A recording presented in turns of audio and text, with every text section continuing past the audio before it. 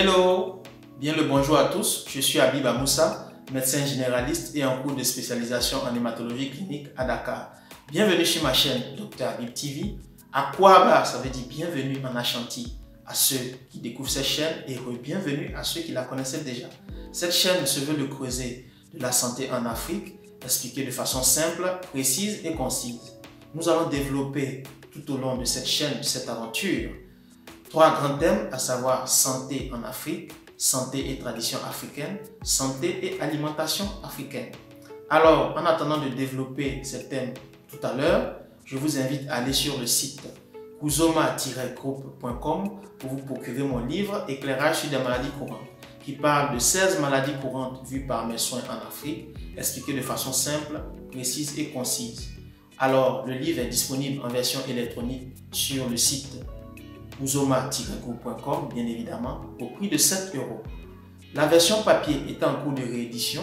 Je vous tiendrai informé quant à sa disponibilité sur Abidjan et sur Dakar. Bien, en attendant, nous allons passer aux choses sérieuses, à savoir nos thèmes.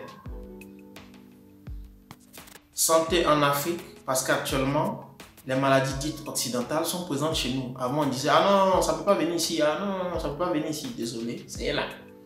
Comme le diabète, l'hypertension et la leucémie, je fais un crochet par rapport à ma spécialité. Nous allons aller voir l'état des lieux en Afrique, la prise en charge, le traitement, mais aussi le vécu psychologique, parce qu'on n'insiste pas beaucoup sur le vécu psychologique d'une maladie. Vous savez que si vous n'êtes pas fort mentalement, on pourra donner 1000 médicaments, ça ne va pas marcher. Et aussi le coût financier qui est très excessif, surtout dans nos pays. Deuxièmement, santé et alimentation africaine. Ah, je vois les gens saliver déjà. Ça va tuer.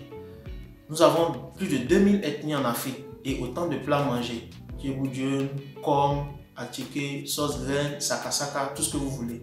Nous allons aller voir leur apport nutritionnel chez nous. Car n'oubliez pas, votre premier médicament, c'est l'alimentation. C'est ce que Socrate a dit. Donc nous allons aller vérifier tout ça.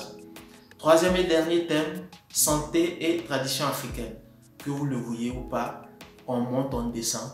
Nous sommes africains, nous avons nos rites. Ce qui peut paraître euh, dégueulasse pour vous peut être très bien vu ailleurs.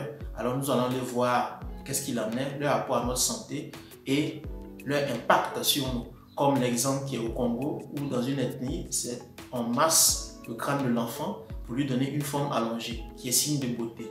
Les puristes vous diront Ah non, non, non, non, ça va déformer le crâne de l'enfant. Pourquoi on va faire ça Les autres diront Ah, nous, on fait ça depuis des millénaires et puis il n'y a rien. Donc, on ne vous comprend pas. Nous allons aller documenter ça et poser des questions aux gens. Qu'est-ce qu'il en est réellement? En même temps, nous allons aussi demander l'apport de nos plantes parce que nous avons une grande pharmacopée. Tout ça fait partie de notre tradition. Nous allons, nous allons aussi aller savoir qu'est-ce qu'il en est. En attendant de développer ce thème. Je vous dis donc à bientôt. N'oubliez pas de partager si vous avez aimé la vidéo et de vous abonner. Je suis également sur Facebook et Twitter sur les liens qui s'affichent présentement à votre petit écran. Sur ce, je vous dis à très bientôt et à très vite. Ciao